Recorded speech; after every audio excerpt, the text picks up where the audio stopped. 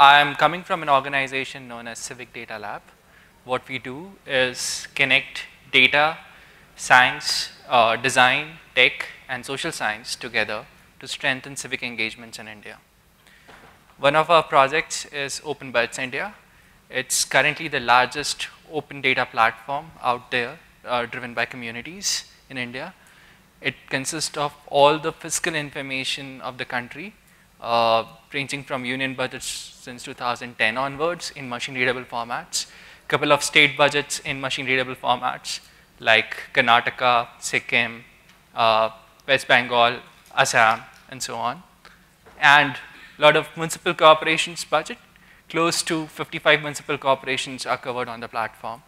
So it, everything is free, open for use, and uh, under just Creative Commons license.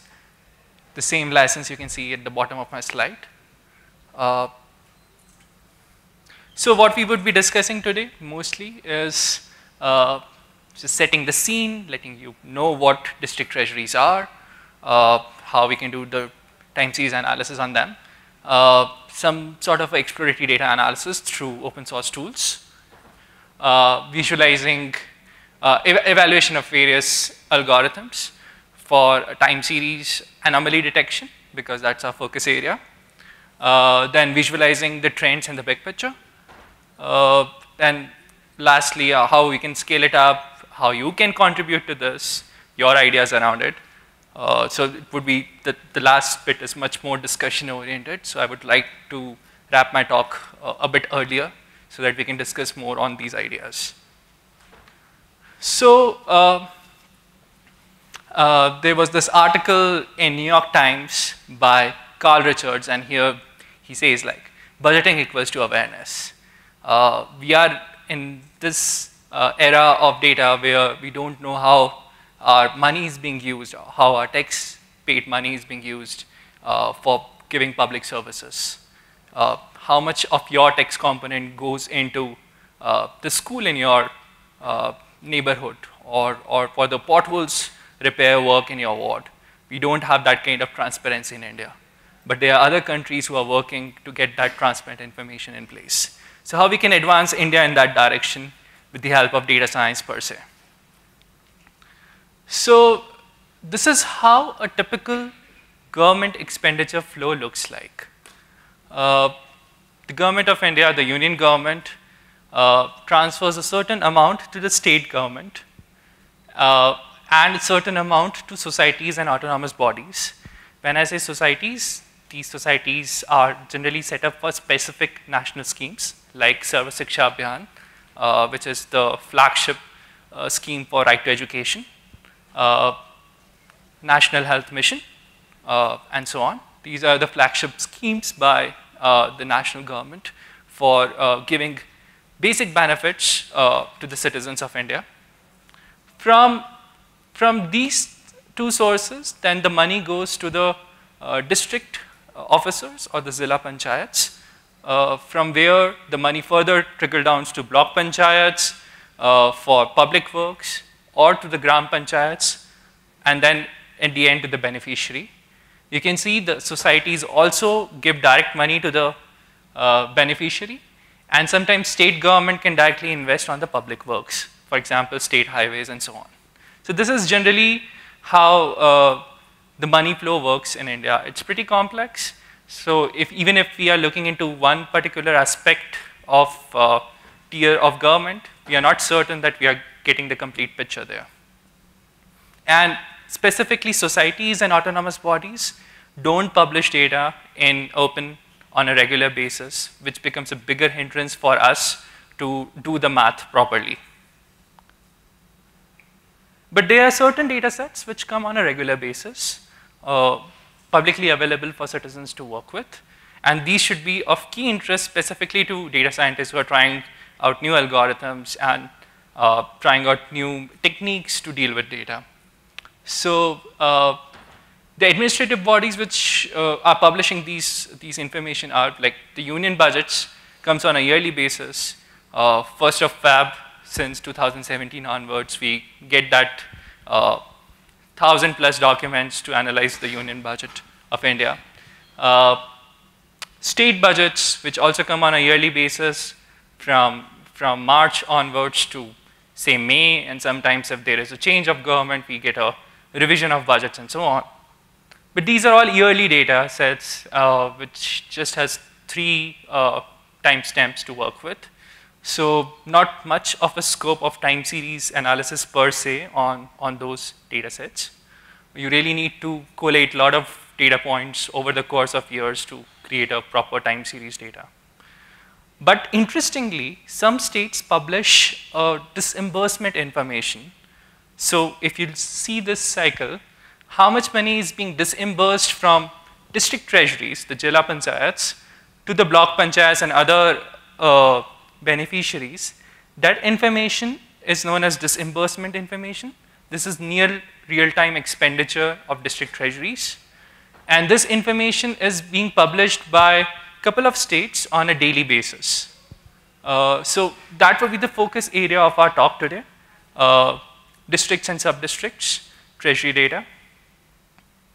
So uh, the approach we have taken for this particular exercise is first define the research questions. What are the research questions we want to answer using this data?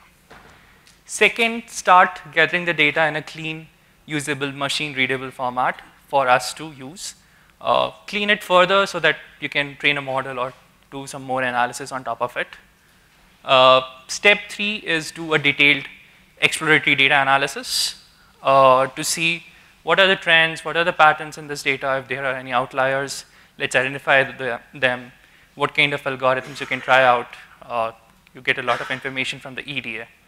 Uh, and then evaluate various algorithms. Uh, due to lack of time, we would be just going into two basic algorithms today into evaluating them and see how we can uh, do time series analysis using them. And then finally see the future of it, how we can scale it up, how we can create a public product out of it. So defining the research questions, I think the basic questions we all need to ask is uh, how we can track funds and utilizations of these funds using this data. Uh, how we can identify certain anomalies, certain uh, offbeat transactions happening on a district level. How we can uh, track expenditure for certain national and state level schemes.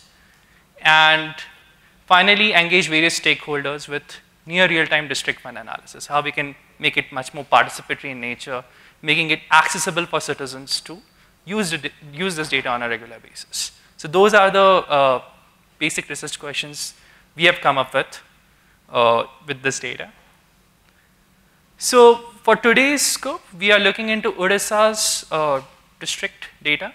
So there are a lot of districts which are publishing almost near real-time uh, disbursement information in Odisha. Uh, they have a portal uh, known as odishatreasury.gov.in where they publish detailed information.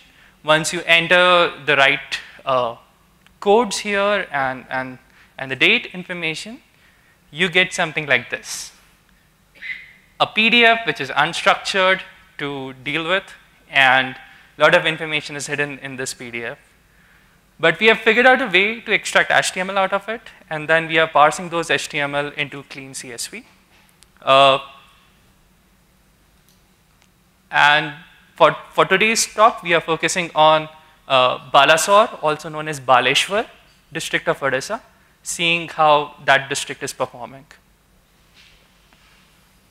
So wrote a script uh, to parse the HTML uh, after extracting from the PDF, uh, clean it and made sure that the PDF which we were looking at here, it might be difficult for you to read from the back, but it says there are some budget codes and what was the allotted amount, what was the expenditure, uh, what was the amount which was surrendered, and what was the balance of the treasury. Each data point defines these four basic things along with the budget code which defines the purpose of this transaction. So once we write our script, make it clean, uh, it looks something like this, which is much more digestible for humans as well. Uh, I wonder why don't they just publish like this? Uh, so it's the DDO code, which is the district level uh, disbursement officer. the officer responsible for taking the money from the state treasury and disbursing among other uh, gram panchayats and other uh, institutions which are falling into that geography. Uh, DDO name, for example, this is Deputy Instructor of General Police, Eastern Range of Balasore. So this is the position of the DDO which gets the money. Budget code defining the purpose of this money, why, this money was received. Uh, what is the allotment serial number? If there are multiple allotments, then the serial number increases. Uh, what was the allotment date? So for example, 1st March 2018, uh, 3000 rupees were allotted to this uh, particular uh, deputy inspector general for a certain purpose, but that person didn't make any expenditure that day. So what we had is a balance of 3000 rupees. Simple balance sheet, what we get for our accounts as well. Similar balance sheet for all the public money which is going in the district. But the difficulty are the codes. If you have to digest what these codes are inferring, we need to uh, look into what their mapping is, which is again a very cumbersome process. So uh, the budget code generally has seven to eight uh, categorizations. It's like uh, referring to your place with first would be your country ID, second could be your state ID, third could be your uh, district ID, fourth could be your ward ID, uh, and so on. Coming back to the house ID being the last uh, figure uh, of, of your address. Similarly, what they do is create budget heads for people to uh, actually know where the money is going for each particular number. So we have department, major head, sub-major head, minor head, sub-minor head, detail head, object head, and so on. So each state in India gives information in this format about how they are spending money. Interestingly, uh, as per the CAG guidelines, they need to be common only till minor head. Beyond minor head, they can have their own coding, which makes this data much more difficult to be interoperable and comparable after the minor head. So, uh, now it's time, once we have the data in place, we scrape the data for uh, 2014 onwards till the end of previous uh, financial year, which is March, 31st uh, March 2018. Uh, so we have a good four years time series data with us. Uh, what we would be doing is now running exploratory data analysis on top of it. And the purpose of this exercise is to identify consistent patterns, identify outliers, uh, discuss various, various, discuss the same with various stakeholders, what are the reasons of these out outliers, uh, highlight visible trends, uh, recognize factors of seasonality, if there is any seasonality per se hidden in the data, uh, what are the factors of seasonality, uh, visualizing relationship among key variables. Simple uh, steps you take with any time series data set. So for this purpose, I'm using open source tools Everyone is aware of Jupyter.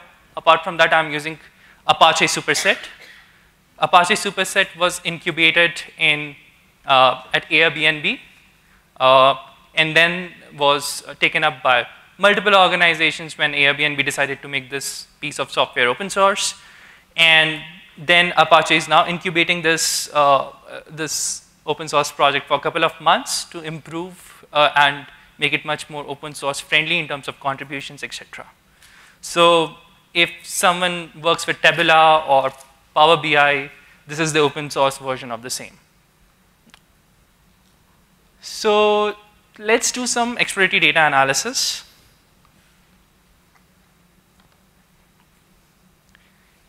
I'm not sure how readable it would be, but I would uh, uh, try to uh, put out everything in loud so that you are able to hear it. So here we are seeing the monthly allotment and expenditure for the Balasore district. Uh, the blue is, is the allotment, the budgeted figure, and the red is the actual expenditure. As you can see, from April to March for financial year 2017-18, none of the months uh, the district is able to spend the money which was allocated for them. It's a very interesting insight more money is being allotted to the district, but district is unable to spend that money uh, in none of the months from April to March. And obviously there is a big surge on April. We'll try to figure out the reasons for that once we look, look more in detail. Let's see who are the biggest five consumers of this data, of, of this money. Uh, so we have education department, which is primary education, the one in the blue. Then we have a very small component, at least in April, and a bigger one in May, red of higher education department. The yellow one is of health and family welfare. The green one is for the home department. And the, the, uh, the purple one is for women and child department. So that's how the distribution has been uh, for, for them.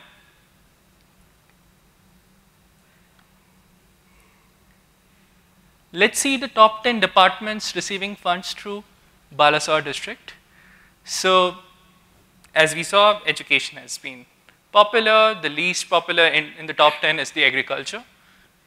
And you can see the same thing with the help of table. I'm not sure how visible it is at the back, but it just says that this much amount was allocated.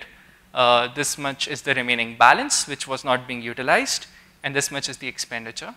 So if you see health and family welfare has a good amount of balance remaining uh, apart from the school and the mass uh, education department.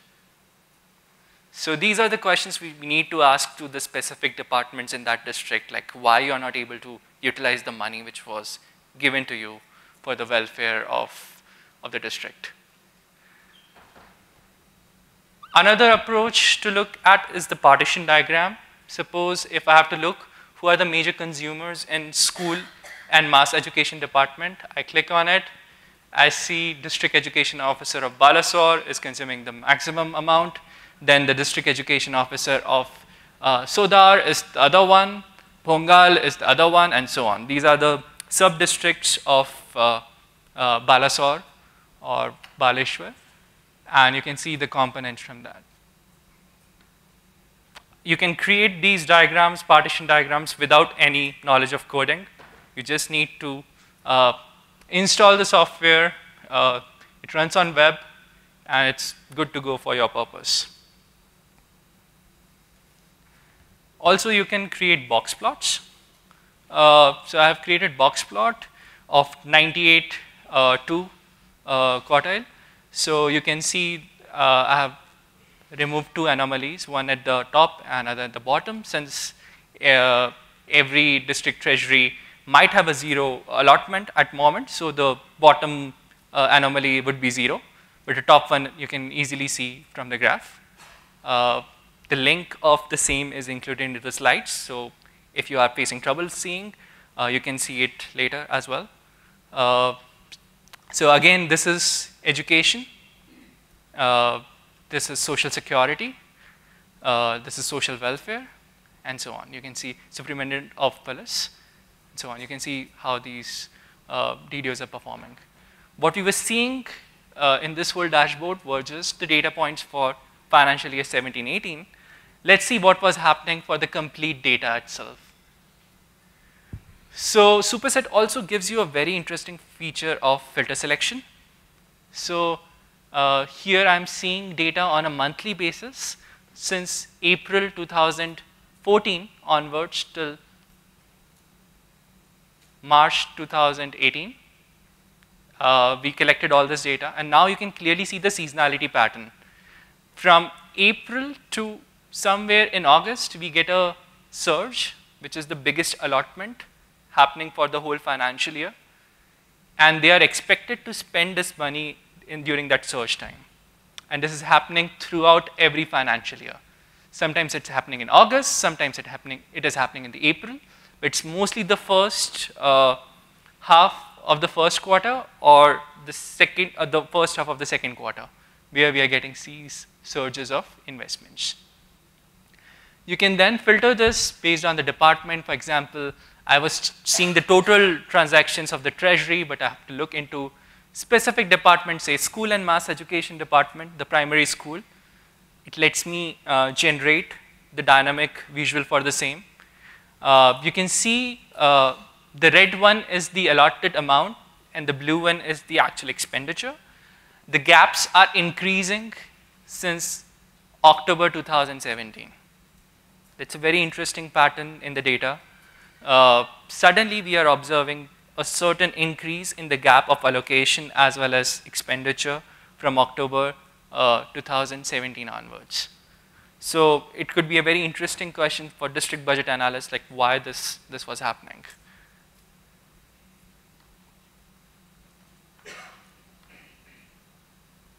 Once I deselect, it refreshes again and here is what I get the balance uh, time series. You can see it was pretty smooth till uh, October 2015, but we got a surge in February 2018 and a drastic surge in February 2018. One can zoom in further to see what was the problem. So this sort of exploratory data analysis lets you ask right set of questions just by looking into the data, slicing and dicing it. And it's very simple with help of these open source tools. You don't need to code at all. Now moving back, once we have access to certain things like this, what else we can derive? So again, just summing up the key insights, uh, there is a yearly surge in fund allotment around April to August. School and mass education department and the DDOs associated with it spend the most. Expenditure in comparison to allotted amount of various DDOs has declined substantially in financial year 2017-18, especially after October. So these are crisp data points for your uh, public accountability tool to ask to the right people in the government. Apart from pay of district administration, major expenditure happens on a sub-minor head known as 0731, which is Integrated Child Development Service Schemes. So a lot of money is going into Integrated Child Development Service Schemes in Odisha. You are able to see these kind of trends with such dashboard. So once we have done the exploratory data analysis, we got a rough idea about our data, it's time to move to the algorithmic approach of uh, trying to find certain anomalies. Uh, simple thing, create a moving average uh, window to see how the anomalies are uh, uh, coming in every month. This is how uh, the anomalies look like for the whole financial cycle from 2014 onwards till 2018, March 2018 onwards. There are a lot of anomalies. You may ask, like in one particular uh, line, you can see multiple points. What are the reasons for it? Since we are seeing the data for complete treasury, uh, there would be DDOs at that particular date spending different amount of money in, for different purposes. That's where we're seeing more than one anomaly in one particular line. Let's see how the balance looks like. Balance is again the amount which they were supposed to spend but they couldn't in designated time. Uh, as, saw from, as we saw from the data, the anomalies were pretty less till March uh, 2017 but got increased uh, after March 2017 but drastically increased after October. Simple moving average uh, window can also tell you the same thing. If I just plot the anomalies, they look something like this. There's a big red cluster on your right hand side, uh, which is something you can clearly point it out, give a printout to the district administration that this is how uh, we are seeing the trends in, in, in the disbursement data. If we move forward from the moving average algorithm, there are other algorithms which take into account specific uh, nuances of a time series data. Uh, which is something which Twitter uh, has developed and made open source. It's known as seasonal hybrid ESD. It's an algorithm used for detecting alerts in the way people are tweeting for a particular purpose in different geographies. So what it does, it builds upon a very basic uh, algorithm developed in 1983 known as Generalized Extreme Studentized Deviate, acronymed as ESD. Uh, it is used to detect one or more outliers in a univariate data. one or more outliers in a univariate data uh, set that follows an approximately normal distribution. So there are two caveats for this algorithm to work. Your data needs to follow an approximate normal distribution and other one is it needs to be a univariate data point. Uh, but unfortunately real world is not always uh, a normal distribution. It's not always following a normal distribution. Uh, we need to deal with sometimes multimodal distributions as well. Uh, so how do we deal with those scenarios? So Twitter said that we would probably do a seasonal and trend decomposition using LOESS. Uh, let's see what this seasonal and trend decomposition is.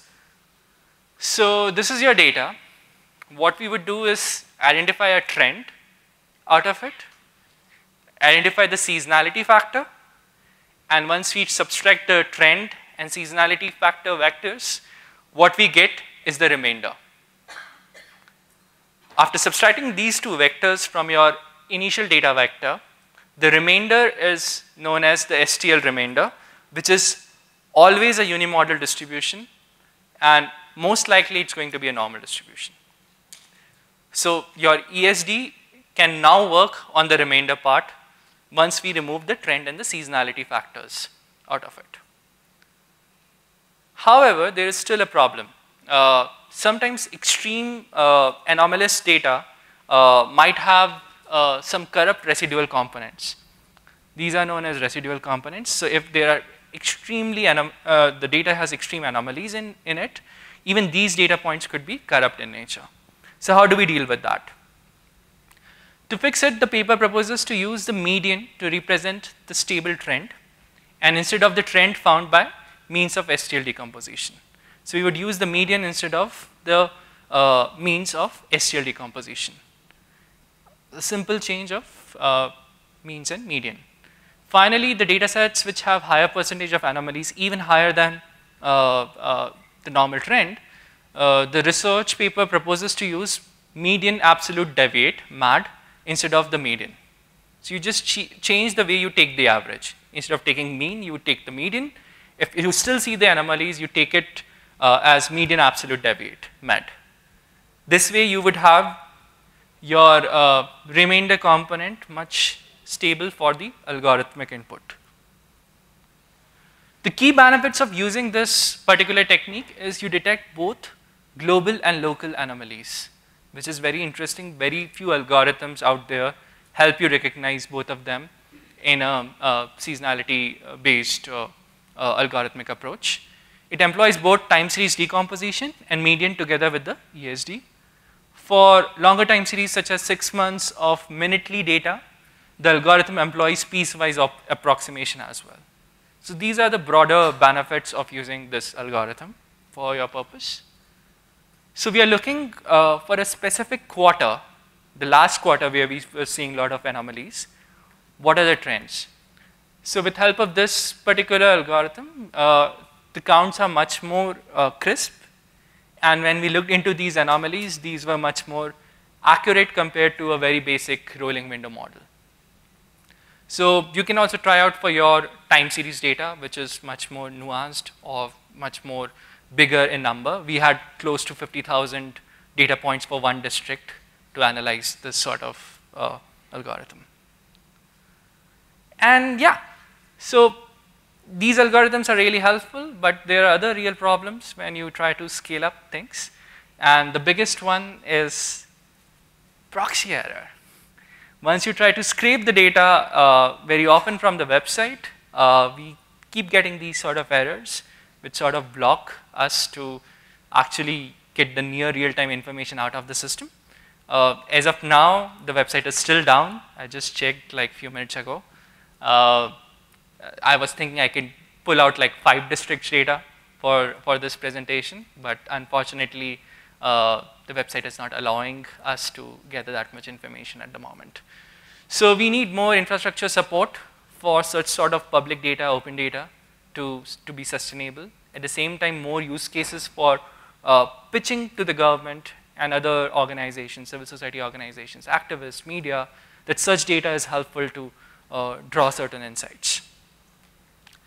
Uh, just closing notes. uh, so that we have enough time for discussion.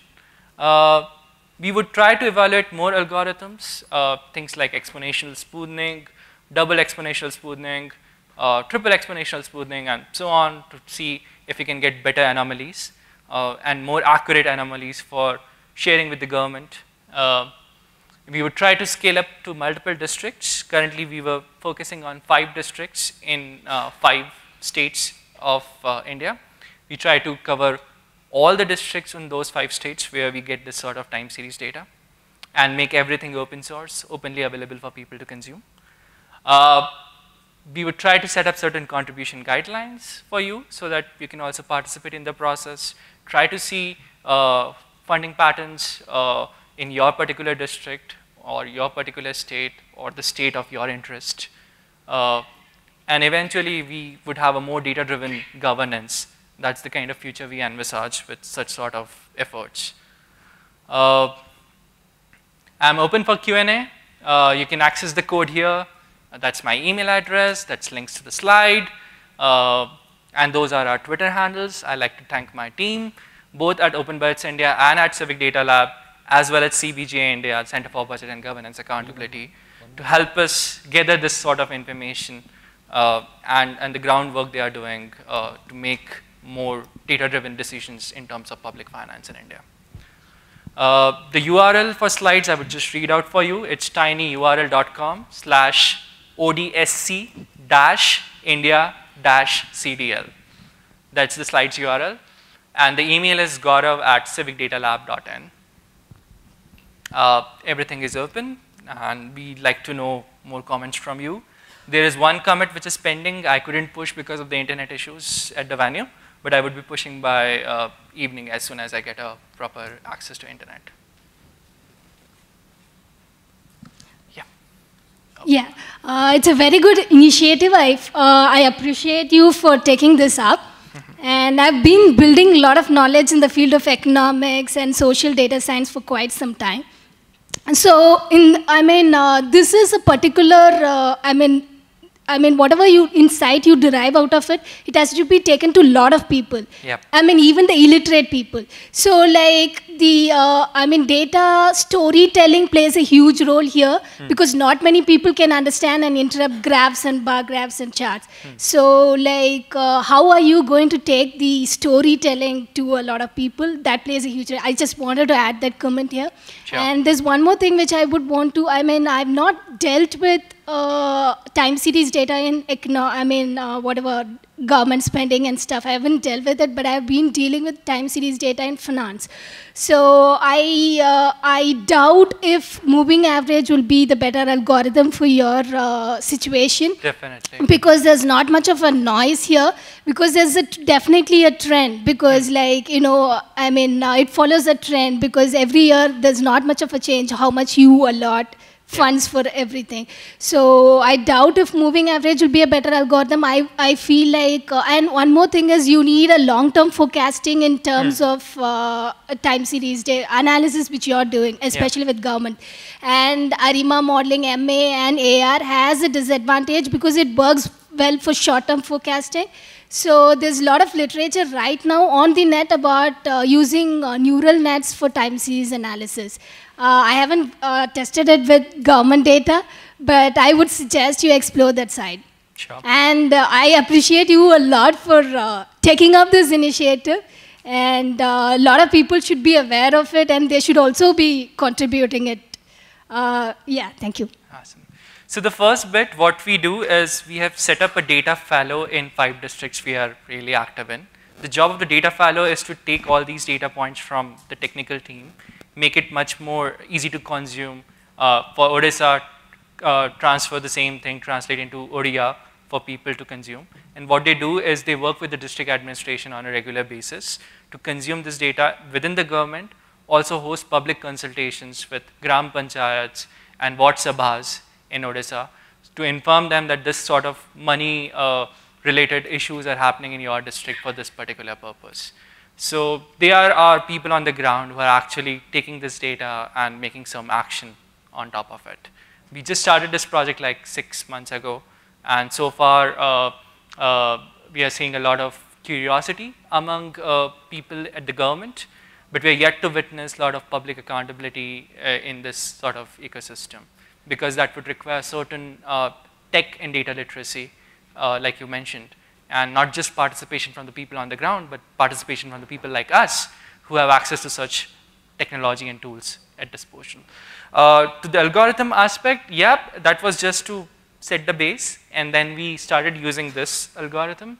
Uh, uh, we call it shared. Uh, this is actually uh, meant for longer time series data, like tweets per se, which you keep getting for certain hashtags over the course.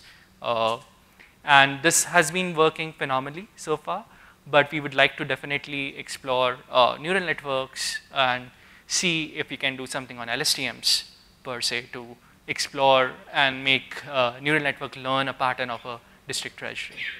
That's something definitely in pipeline, but that require more talent, more resources. So open for contributions.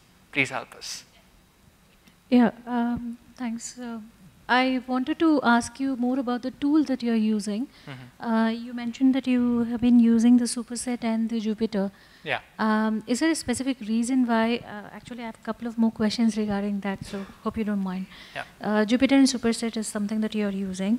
Uh, so, is there a specific reason why you picked these? And um, uh, will they, uh, will they, is there a capacity issue there. Which you faced in the past?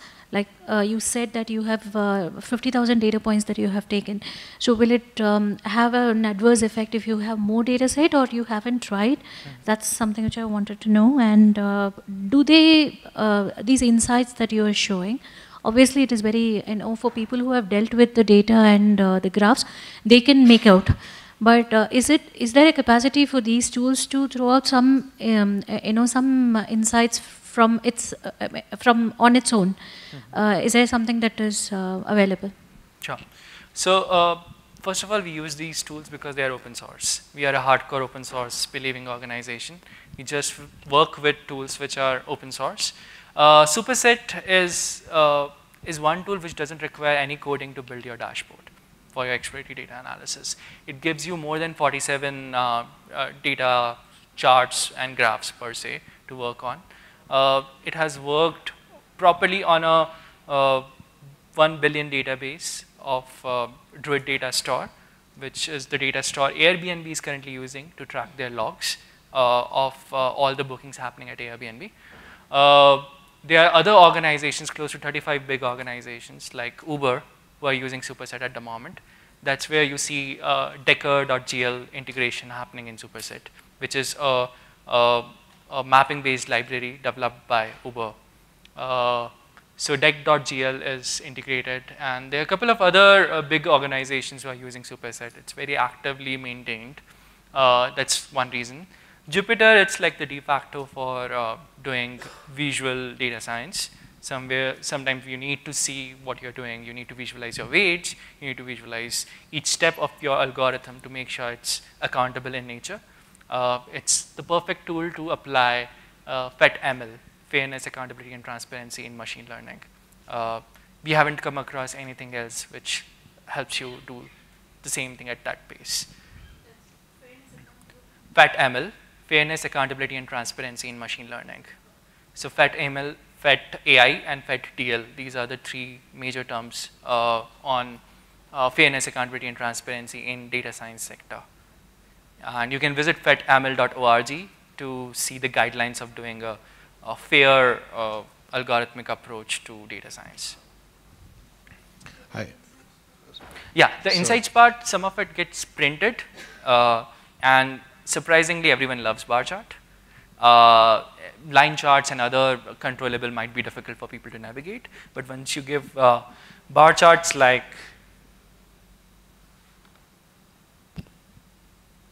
obviously this is pretty complex. But if you give something like this, that you see figure for each month how much is being spent, this is very simple for people to consume. Uh, we create pie charts, we create, add a lot of narrative to it. So Superset also lets you add a paragraph here explaining what this uh, graph is showing and that too in multiple languages if it's UTF-8 compatible. Odia is, so you can write a paragraph in Odia as well as Hindi as well as in English explaining this particular chart and you can take a printout of it and show the URL as well to them. So surprisingly, governments are now investing a lot in data science and blockchain. So at the same time, they are very keen to build their tech literacy.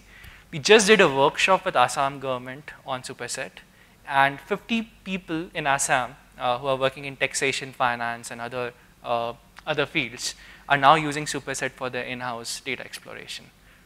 So, and since it doesn't require any coding, you just need to sign up and you just start using it, you host it on your server and just make it flexible for data to flow in.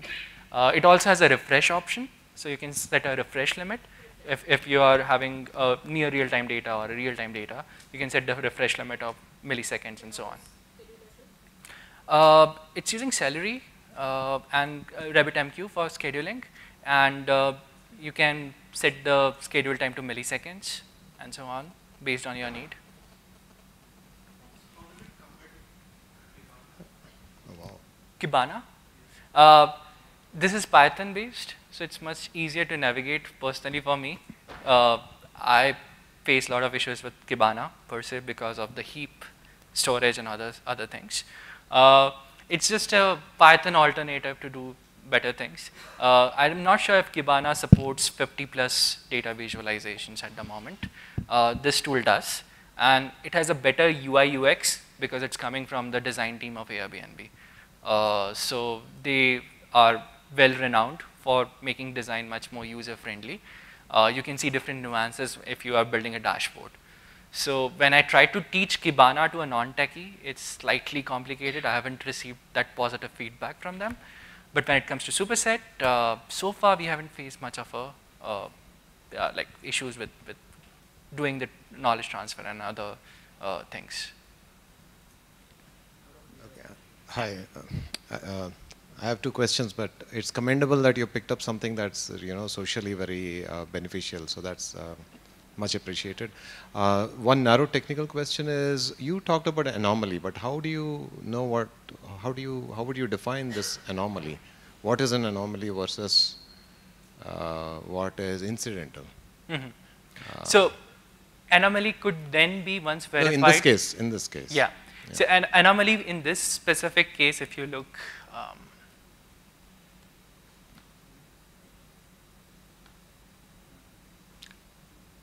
for example, this uh, anomaly in this particular case are investments which were supposed to happen in that particular DDO office, district disbursement office, but didn't happen on that particular date. The money was still kept with the treasury but not being utilized. For us, that's one sort of fiscal anomaly per se. Uh, generally, there is a percentage which is, if you see here, uh, the red line is showing the percentage, the lower bound and upper bound. This is okay. the permissible limit which we say is allowed to have uh, this much money in the treasury. Mm. But as soon as it's above the upper bound, uh, it's problematic. So but this concept of upper bound and lower bound was not scalable. That's where we moved into the Twitter-based algorithm, which is much more nuanced to understand the seasonality patterns. Because upper bounds and lower bounds may vary for a particular mm. season or particular week or particular uh, DDO office true, true, per se. True, so you wouldn't set the anomaly in advance? No. okay, okay. So the second question is very different. It's uh, wide. Uh, I would have, I should have thought that government departments would al already have a statistical, uh, you know, department or sub-department or group that would do a lot of this analysis. So how come uh, we have this sort of gaps? Unfortunately, we don't. At a national level, it is done in some way, right? But there are they, gaps, is what you're saying. We don't have any public access to such knowledge, uh, as far as I'm concerned. Uh, there are a lot of uh, uh efforts being made by Ministry of uh, Information Technology mm -hmm. and NITI Aayog, okay. but the reports which we get are the final outcomes. We don't know what algorithms they used, how frequently they used it. That's okay. And there is the problem of provenance. If I have to do the same thing with the open data sets available, I'm not sure how to do it. So that's one major problem on the national level. Uh, with, when it comes to district level, I'm not sure we have a national monitoring system for all the 60, No, no, no, no, 650 plus districts in I India. think my question simply is like the UK has a Yeah. huge department for statistics that uh, you know produces and not just the stat- statistics but also the analysis. Yeah. Uh, we have a much weaker s- uh, version of that in India at a national level. So uh, my question simply is, at state levels, we don't have anything like that, is it? Okay. All right. Okay, thank you very much. Even freedom of information of UK That- that allows us to ask those questions if there is such such effort being carried by a state. Uh, if you try to do, we tried to file RTI on statistical analysis on state level. We haven't received any response yet. Okay, so it's a struggle. Yeah, it's a Yeah, struggle is. to know. All right. How about, so we have a open data go uh, platform, Yeah, data.gov.in. and I understand uh, some of the data uh, they, they prepare and present in a quite similar way. Hmm. So have you explored that uh, whatever analysis you can, you are doing, you can be a contributor to the Yeah. same platform? Yeah. Or So data.gov.in, first of all, is more of a aggregate data website, not a detailed data website. What we are working with is a detailed data, and with the change of government, uh, after 2013-14, we haven't witnessed upload of budget data on the platform.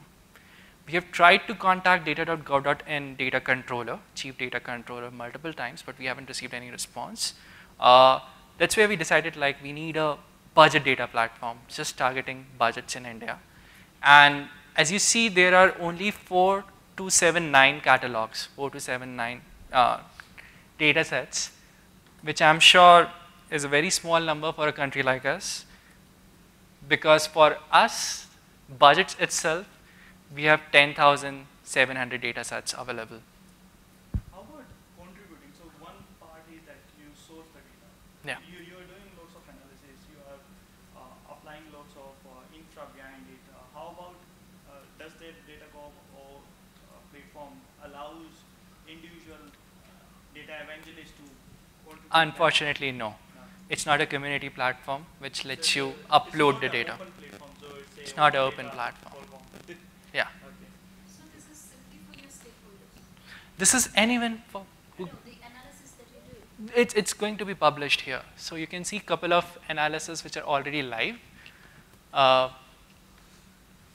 we try to do advocacy. As I mentioned, we have district uh, data fellows who are doing the groundwork of taking these reports to the government as well as to the Ward Sabhas and Gram Panchayats in that particular district. Uh, they do a lot of advocacy effort. But uh, in terms of web presence, we make sure that whatever analysis we do, all it, everything is uploaded in easy to consume format uh, on the web. So this is what you're saying for the state budget comparator. Uh, we call it story generator. It's in alpha version still. Another one is Union Budget Explorer. In Union Budget, you get like 10,000 plus data sets, uh, sorry, 1,000 plus data sets every year. It's very hard for a human to comprehend all that stuff and give their feedback in the limited time we get for uh, the budget queries. So what we do is in, in a span of 10 days, we launch something known as Budget Explorer, which is a detailed outlook of where the money is being uh, uh, spent for national government. You can see the basic schemes, you can see the sectors, you can see the revenue, everything is publicly available for you to uh, explore around. And uh, all of this information is open. You can download it, use it, query it. You can see what, how the core schemes are performing. And you can filter again. Uh, if I'm looking interested in highways, I can just say highways and I would get the highway related scheme and so on. So we want to make it accessible for people to uh, use this data. There are a lot of data already out there, but it's in messy PDFs, which is a big struggle for people to deal with. Hi, um, I have a question, two questions actually. Ah, sorry. Yeah. Um, do you and your team do this full time? That's one question. And uh, the second question is, um, this is the analysis on the spend. Um, is there, you know, other kind of analysis you guys are also working on? Like, for example, the elections coming up next year. Are you going to do something with analyzing how, you know, money is spent there or detect anomalies, so to say? Yeah, so a lot of analysis is being done. Um, you can access everything at Center for Budget and Governance Accountability website. This is the non-profit organization we are working with. Uh, in their publication section, you get all the uh, chapters, journal articles, blogs, policy briefs, everything you can access. It's much more traditional approach to uh, public finance research. Uh, I'm not sure if election is our focus. Our focus is more on the fiscal transparency and governance and budget credibility. Uh, but we do analyze budget patterns along with the change of government and, and before the election, after the election, and so on. And you do this full time, you, you and your team? Uh, so we do similar projects. So a couple of members from my team do it full time. Uh, I have been doing it full time for last uh, three and a half years. Uh, now I'm doing it part time along with other projects. So we are trying to create similar platform for judiciary, so known as Open Judicial Platform. Uh, and similarly other uh, things like open education platform for Karnataka and so on.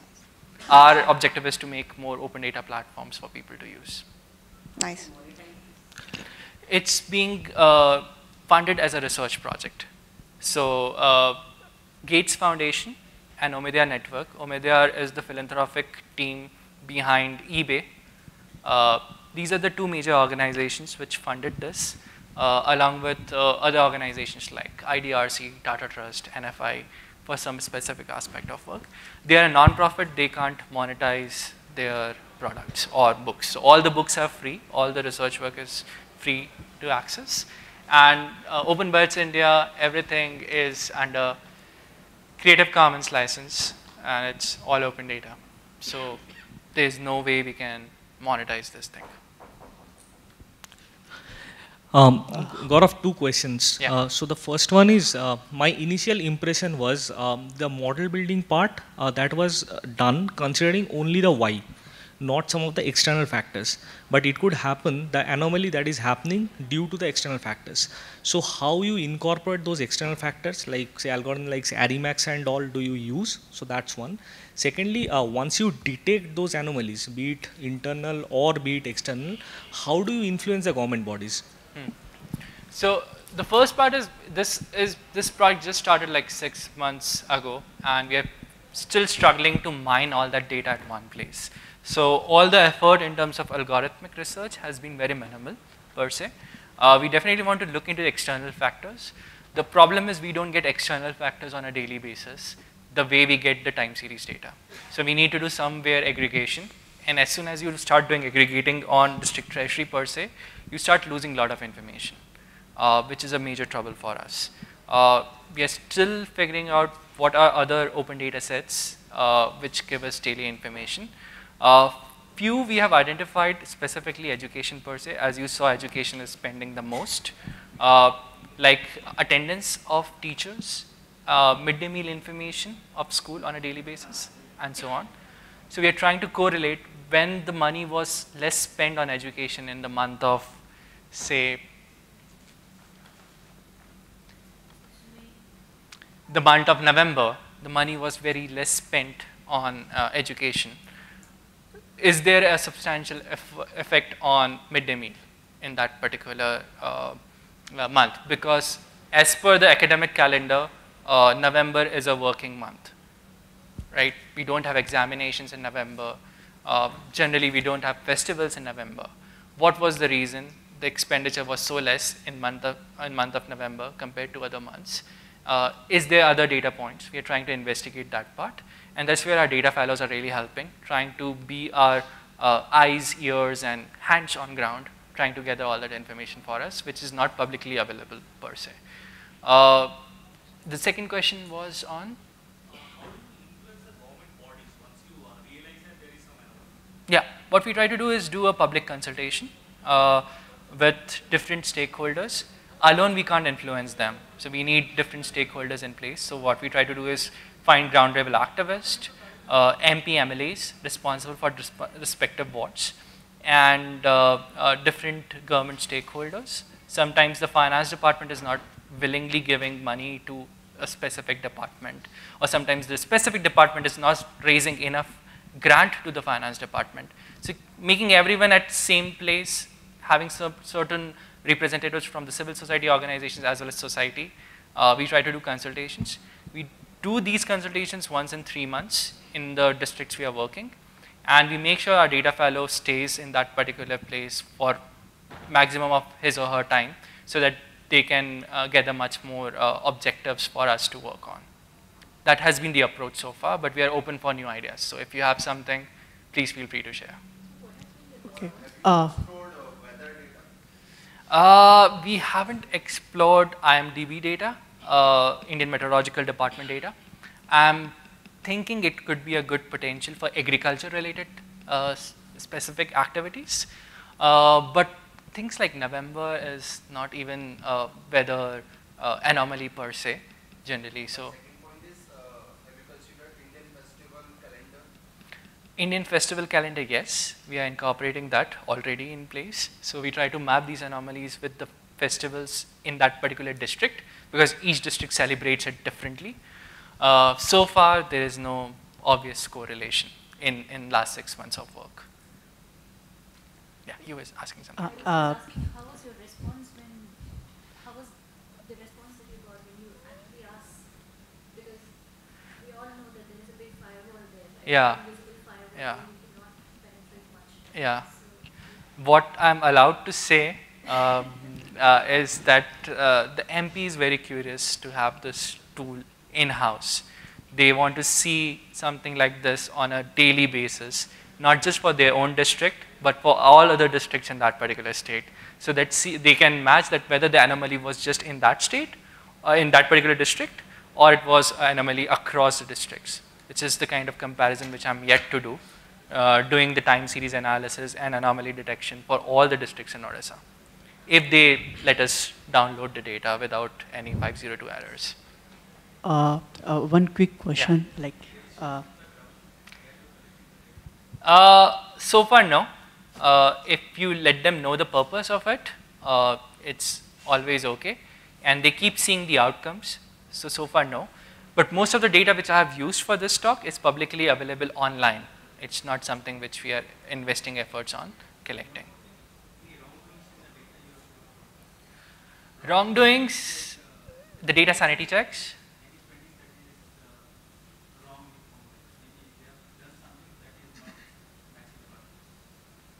Uh, for that, as the other person asked, we would require other data sets, like for example, midday meal information.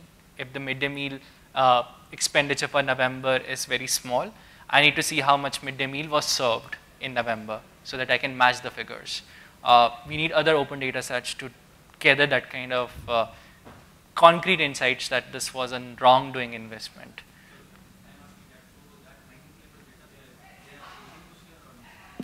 Uh, so it's a very complex structure in government. Not every department is in sync with each other. Uh, we don't have a district uh, data officer per se who takes care of all the data efforts in a district. So because of these issues, we don't have a, a near real-time database per se existent at the back end. Certain schemes are being tracked, like midday meal is a national scheme. It's being tracked because of the national efforts, and all districts are mandated to fill in the information. Uh, but again, that thing is not exposed as an open data API for, use to, for you to use. So you might need to figure out sources which are not easily available for doing this sort of analysis. uh, can we have a, like, uh, uh, I think uh, let him, if you need to ask a question, please ask me, I'll come with. Yeah. You can do it in a sequence. so, uh, just like, uh, instead of considering the overall expenditure, Yes. can we consider the per, per capita expenditure? So you can compare, uh, like, down the line, and uh, you can also consider the demographic factors, like some tea- uh, like some districts, uh, there are like not developed from the uh, from since the independent. If you consider the western pa- western India as compared to the Yeah. eastern eastern part of India, so uh, the government can have like a like how much they can allocate in the upcoming years. Uh, similar similar uh, similar things you can consider for the now eastern state like so that kind of data could be available. For state, we do per capita expenditure. Okay. Uh, for districts, uh, we don't have a very concrete estimate of district population. The census gives a estimate, but we have found that that's not that accurate. we haven't covered inter-district comparisons as part of this talk, but when we, we generally do that, and whenever we do, we compare uh, as per the district uh, capita, as well as uh, we try to calculate a gross domestic product for the district. So we do as percentage of uh, gross domestic product and per capita for that district. These are the two econom economics uh, statistics we always do when we do inter-district or inter-geographical comparisons. Thanks. Uh, Gaurav, this is truly inspiring. Uh, question is, uh, how can we contribute? To begin with, uh, go through the slides, see which component excites you the most. Go through the website, I've shared a lot of links, uh, and let us know what you want to work on. You drop us an email. Uh, we have a Slack channel available for volunteers to work on. Uh, we, have, we are very active on Twitter. Uh, you can connect us via these platforms. If you are super interested on the coding aspect, uh, everything is available on GitHub. so GitHub, I think I'm fine, right?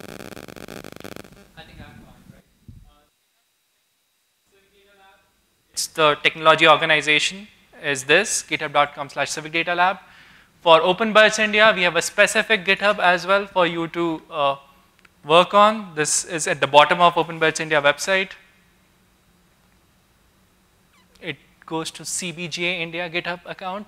They are close to 13 repositories, a couple of people contributing. Uh, already close to 13 people have contributed to this uh, uh, project. Uh, we have two specific teams who work with us. One is the in-house, another one is the community team from DataKind Bangalore. The organization I started in 2014 uh, with the purpose of doing more data science for social good in India. We are a volunteer community to do data science projects over the weekend. So these are various ways you can collaborate. And if you have an interesting data set or have access to a data set which we don't have, just drop us a mail. Uh, info at openbudgetsindia.org. It's written um, in the contact us information.